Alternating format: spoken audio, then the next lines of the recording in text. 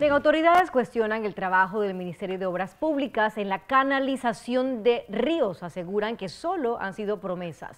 Adair Concepción nos tiene más detalles. Ahí es un problema de siempre el tema de los ríos, el tema de los electrodomésticos, de los colchones, etc. El caso de la desaparición de este menor en el área de San Miguelito ha traído a colación la situación de la canalización de los ríos y de las quebradas que ha sido la petición no solo de autoridades de San Miguelito, Mirra y amigos televidentes, sino también de otras zonas vulnerables al tema de inundaciones como lo es Juan Díaz. Esta tarde hemos conversado con representantes de acá de San Miguelito, viendo toda esta situación con el tema de este menor de edad, con el tema de la gran cantidad de basura que han sacado y también con autoridades de Juan Díaz que son los que cada año también sufren por el tema de las inundaciones. Ellos esta tarde han cuestionado la labor del Ministerio de Obras Públicas en aquellas promesas, aquellas eh, promesas que hicieron efectivamente a moradores y autoridades de canalizar los ríos, de canalizar las quebradas de manera que cuando vinieran las lluvias corrieran de forma normal e impedir de esta forma que el agua llegara hasta sus casas. Sin embargo, llegan nuevamente las lluvias y se repite esta situación. Vamos con reacciones. Esperado para nada. El MIBI, en cambio, sí ha ayudado con la maquinaria para poder meterlas a las quebradas y limpiar pero el MOP no, no ha tenido ningún interés en este periodo para apoyarnos.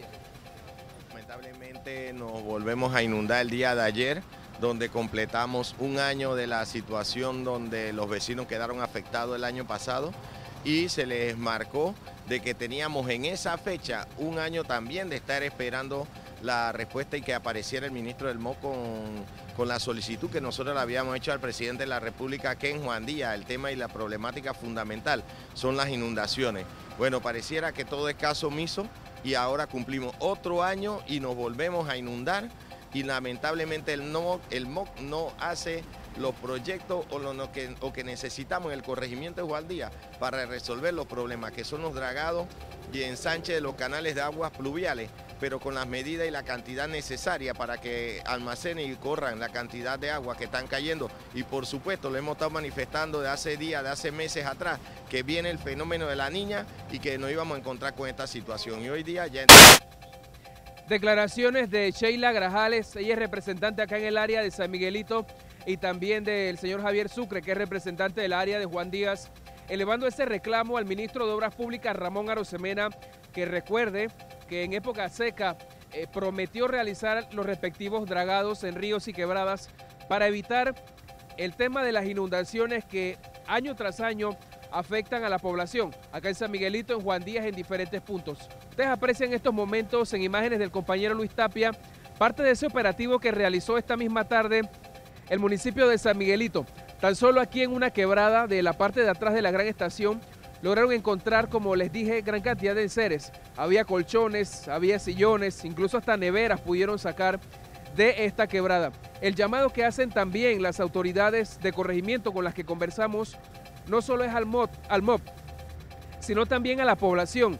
Ellos aseguran que es un asunto de parte y parte, tanto del Ministerio de Obras Públicas, pero también con la disposición adecuada de los desechos sólidos que en su mayoría van a parar a ríos y quebradas. Así están las cosas, Mirna. Adelante.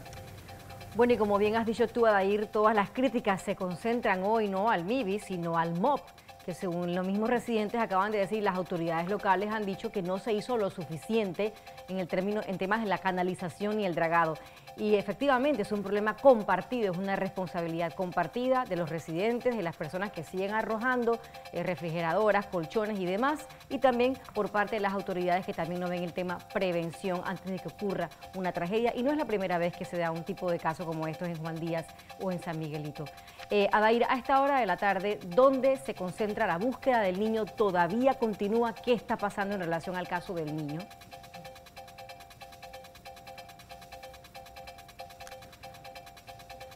Se ha suspendido la búsqueda, Mirna, así lo ha informado el Departamento de Comunicación y Relaciones Públicas del Sistema Nacional de Protección Civil.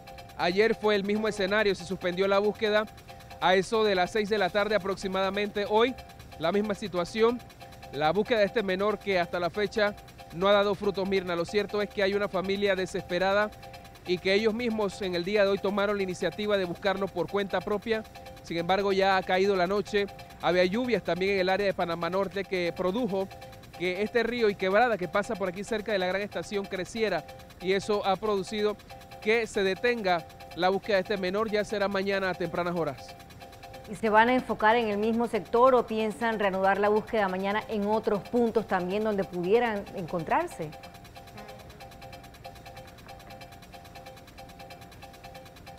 Debería ser en otros puntos, Mirna. Recorrieron toda esta área de San Miguelito. Posteriormente sigue el área de Río Abajo y Panamá Viejo, que por lo que pudimos ver en un recorrido que realizamos, eh, la afluente es mucho mayor, la corriente es un poco más fuerte. Así que ya el recorrido continuará hacia el área de Río Abajo y también hacia el área de Panamá Viejo. Sería entonces la búsqueda por segundo día consecutivo y la esperanza es lo último que se pierde, como bien decía uno de los familiares. Ojalá y podamos saber algo del niño, del destino de este niño de 5 años de edad, que se convierte en una víctima más de la desidia y el desinterés y también de la irresponsabilidad de los propios ciudadanos. Gracias, Air, por tu reporte. Bien, residentes en Juan Díaz exigen a las autoridades municipales respuestas ante el desborde de la quebrada La Gallinaza. Vinda nos informa.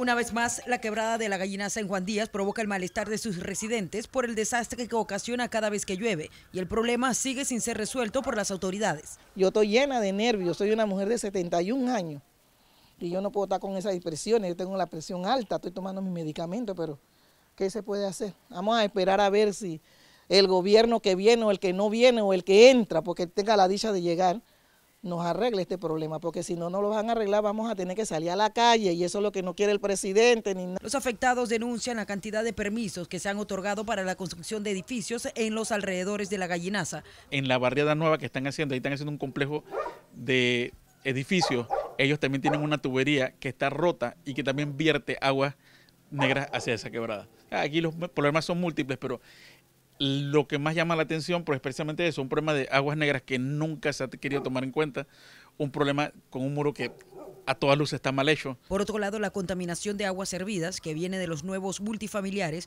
han hecho que el lugar sea insalubre y provoque un foco de infecciones cada vez que se da el colapso de las tuberías. Y ahora está peor que antes. Antes no me servía porque, como hicieron la vaina de la zanja esa, acuérdate que la, hicieron la zanja esa, se desbordó el agua y ¿Qué solución han dado para ese tema de la zanja? Bueno, por ahora mismo no hay. Finalmente, en Cerro Viento también se realizaron labores de limpieza en la quebrada que provocó la inundación de la vía principal, afectando a varios vehículos. Belsis Vinda, Next Noticias.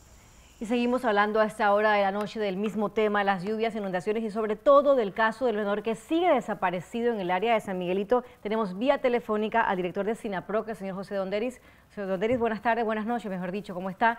Básicamente usted está en la escena, todavía se ha suspendido la labor de búsqueda. ¿Qué esperan ustedes todavía a este punto de la, labor de rescate?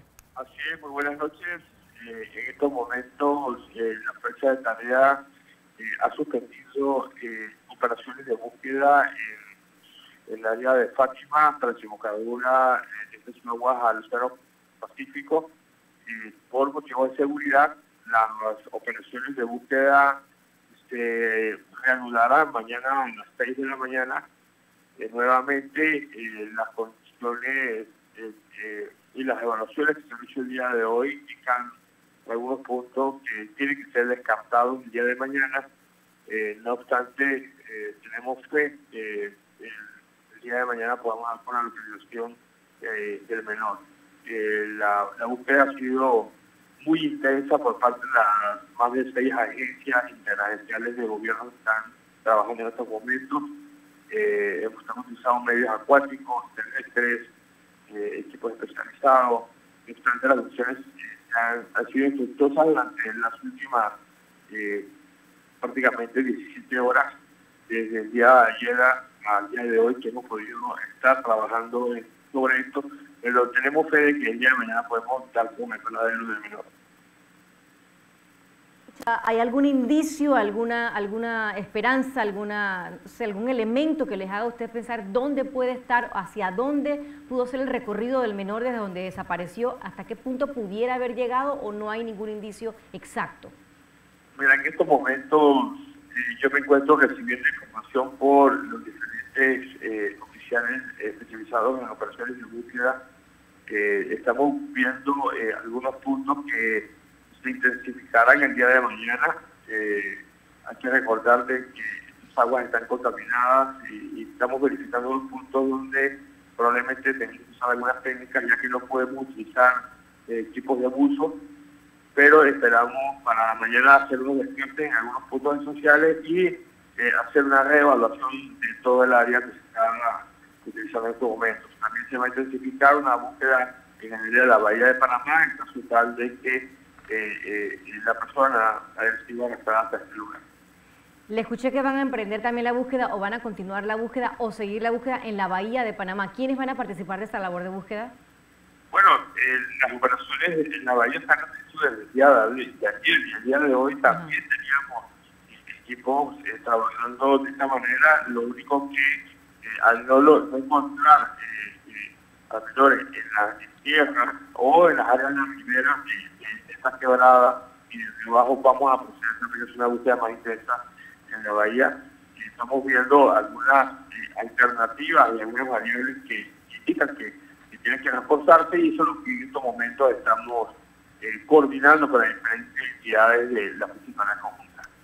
Eh, señor Donderi, yo sé que usted ha dicho que la esperanza es lo último que se pierde y que también eh, pueda darse un milagro. ¿Usted todavía mantiene esa fe, esa esperanza de que el menor siga con vida en algún punto? Mira, yo quisiera en estos momentos eh,